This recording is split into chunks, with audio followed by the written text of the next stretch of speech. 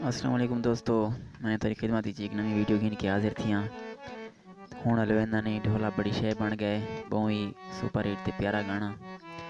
किस दोस्त ने फरमाइश की थी ते मैं वो वीडियो घिन के तेरी खिदमत हाजिर थी आया तुम भी आखसो कि सारे गाने लगातार भैरवी भी चाहते पे लेकिन ये मेरा भी कोई कसूर को नहीं क्योंकि फरमाइशा जो मैंने व्हाट्सअप नंबर से कई अगर दोस्त फरमाइश करें तो ज़्यादातर भैरवी दे आते पैन।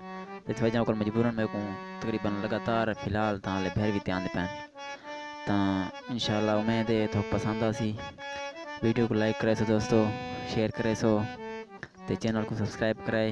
ये कि भाई अगर नवा वीडियो को देखा पाए तो उम्मीद है कि वीडियो थोड़ा पसंद आ